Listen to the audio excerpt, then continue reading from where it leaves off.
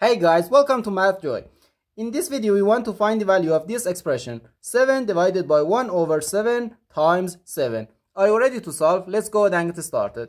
In this expression, we have one division and one multiplication. As we know, multiplication and division have equal priority and we have to work from left to right. So first, this division. Uh, 7 divided by 1 over 7. According to the KCF rule, K stands for keep, C stands for change, and uh, F stands for flip. Keep the first fraction, change division to multiplication, and flip the second fraction. So we can write 7 times 7 and again times 7. 7 times 7 equals 49 and 49 times 7 equals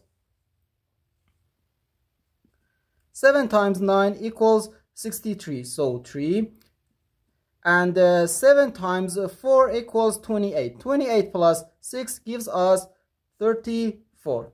So our final answer to this problem is just 343.